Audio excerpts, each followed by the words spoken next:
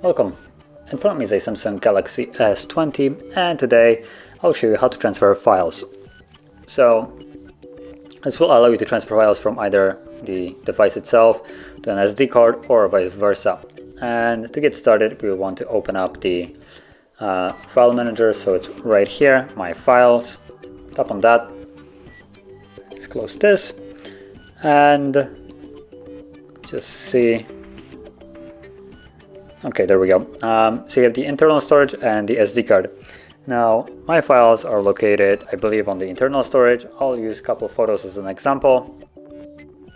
But if you're looking for, for instance, uh, photos or videos that have captured with the device, they will always be located under the DCIM. Uh, pictures will contain screenshots that I have captured with the device, and download folder will have anything that I have downloaded on the device. And anything else there is usually placed there by the user itself so you should probably know that it's there if you have placed it. So I just go into the DCIM where I have the couple photos that I have captured. Um, and apparently also looks like a video.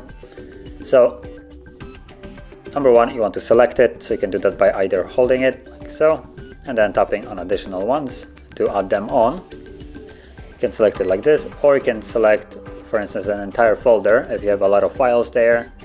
So then by selecting the folder you also will select everything that is inside of it. And once you have selected everything that you wish tap on the three dots right here and actually, actually the shortcuts are right here. So once you have selected you have the two options. You have move or copy so choose accordingly uh, move will actually remove the files from where they are right now and move it to a new location, while copy will just create an additional set of the same files. Um, so I'm gonna select move and then we want to navigate to the store, the place that we wish to move it. So I'm gonna go back I'm gonna move it to the SD card. So right here and you can see that this DCMI folder is empty on the SD card. So I'm gonna move it right here. So tap on move here and you're done. You can see that we're still on the SD card as it's right here and in the DCIM and that's the folder that we have moved and all the three files that were in it.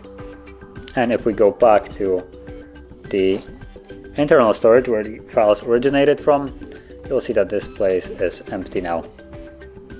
So that is how you remove any kind of file um, from a storage to phone or vice versa. And if you found this very helpful, don't forget to hit like, subscribe and thanks for watching.